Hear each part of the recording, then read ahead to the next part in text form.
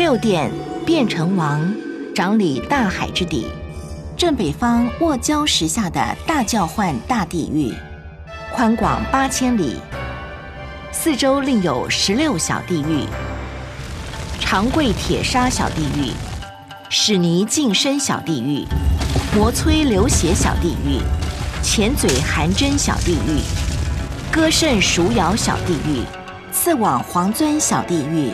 对倒肉浆小地狱，裂皮祭雷小地狱，咸火闭喉小地狱，桑火拜轰小地狱，粪污小地狱，牛雕马灶小地狱，劈鞘小地狱，啄头脱壳小地狱，腰斩小地狱，剥皮萱草小地狱。世人若犯以下罪事，即入此地狱：一。怨天尤地，抱怨风、雷、晴、雨、冷、热，对着北方大小便、哭泣。二，偷窃神佛装藏的宝物，刮取神佛圣像上的鎏金或金牌，随便呼叫神佛的名讳、圣号。三，烧毁涂损劝善的书籍、文章、器物。不尊敬、爱惜有字之纸与经书。四、寺庙、道观、宝塔的前后泼洒堆积秽物。五、家中供奉神佛的法像，除灶不清洁。六、不戒食牛肉、狗肉。七、家中收藏违背正理或邪淫黄色的书刊。八。在衣裙上绣上龙凤的图像，雕刻图绘神圣的图像，例如太极图、日月、七星、和合二圣、王母、寿星、所有的上仙、三世诸佛的形象，或万字花样等，在衣服器具上。九，浪费糟蹋五谷。十。囤积米粮，期待卖高价钱。犯以上的罪事，都发入大教换大地狱。再查出所犯的事件性质，分别发配至所应受刑罚的小地狱接受苦刑。期满转介第七殿，再考察有无第七殿管辖的罪恶。世间的人，如能在三月初八如素持戒，清净身口意。发誓立愿，今后不敢再犯以上的诸罪，并且能够每逢五月十四、十五、十六日、十月初十，境界不行房事。同时立愿此后要辗转劝诫别人，如此则准许免受以上诸小地狱的苦刑。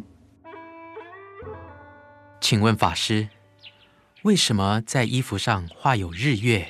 太极或佛像、神像等等图案是有罪的呢？世人须知，这些图像都是宇宙间神圣的表征，而穿着是代表一个人的德行。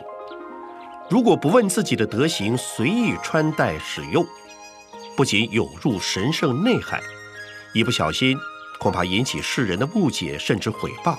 间接影响或断送了大众亲近善法或善知识的机会，这样损失的不只是像财物之类的而已，影响的是世人的法身慧命啊！这样的罪过是不是很大呢？好，听完这些地狱罪罚，我来讲一个关于偷盗三宝财物受报的故事。民国三年。一九一四年，鸡足山祝圣寺传春戒，由于沙弥叫做真静，向常住借四十八元设上堂斋，受戒后即回去，借款一直未还，几经索讨，竟伪造收据寄给祝圣寺，并附言祝圣寺某师已来取回借款。当时虚云老和尚的侍者程静，愤欲追究，为老和尚劝止。不料程静竟于次年感染疫病，因而圆寂。常住为其沐浴更衣，换穿新蓝布褂裤，涂皮后骨灰归塔。民国五年，西元一九一六年，祝圣寺春戒期间，真静忽然来到祝圣寺。老和尚不但既往不咎，请他当八引理师。当比丘坛洒净后，老和尚刚回室，赵克师即来报告，八引理师忽暴死。老和尚赶往看事。只见真静倒卧地上，口吐白沫，大众正为他念佛。忽然间，真静大叫：“快拿钱来还常住！”真静，你怎么了？曾经尹赞师向我索钱，有什么凭据？尹赞师身穿新蓝布衣裤。程静，你放下吧。个人因果，个人当。一会儿，真静醒来后，就疯癫失常了。后来，老和尚为真静在五斋时，向大众开示：真静之病，乃是不明因果。诚静好心讨账，反累常住不安。今当中发漏，了结一重公案。